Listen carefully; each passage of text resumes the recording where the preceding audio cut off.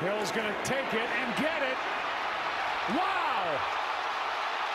What a carry by Taysom Hill with a hurdle. This over Kazee. Yeah, it's well, Cesar Ruiz, he comes around the right guard and just cleans up. You see, he comes around here.